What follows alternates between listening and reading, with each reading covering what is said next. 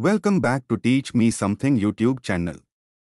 In my previous video, I have created fixed payment QR code.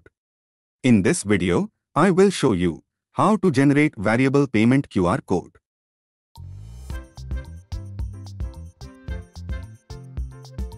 See, whenever I enter some values in the serial monitor, respective value QR code amount is appearing the TFT LCD.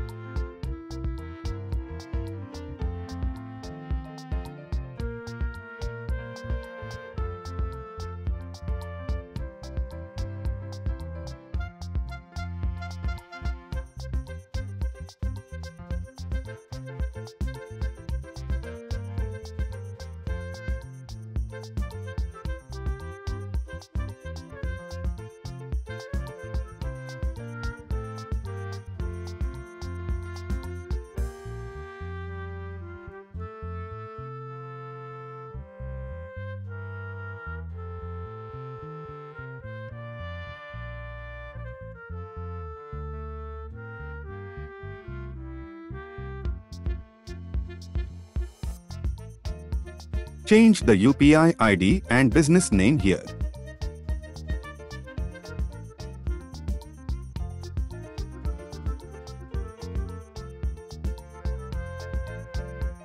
Choose your board and proper port number.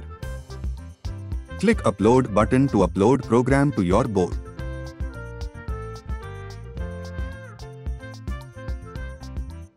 After uploading open the serial monitor and choose the correct baud rate which is given program.